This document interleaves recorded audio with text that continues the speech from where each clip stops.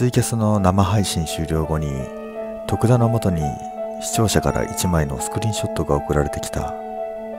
それでは問題の写真をご覧いただこう。徳田の側頭部赤い丸の中に日本人形の顔とも取れるような人の顔が見えるの最初はね日本人形にしか見えなかったんだよね。女の子の日本人形。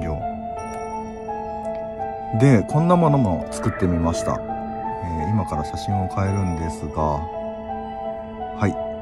こちらご覧ください。ドン。こ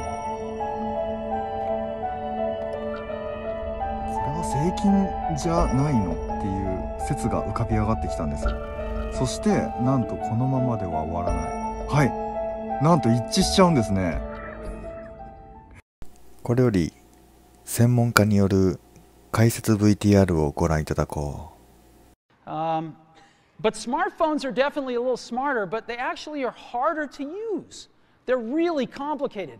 Just for the basic stuff, people have a hard time figuring out how to use them.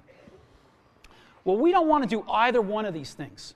What we want to do is make a leapfrog product that is way smarter than any mobile device has ever been and super easy to use. This is what iPhone is.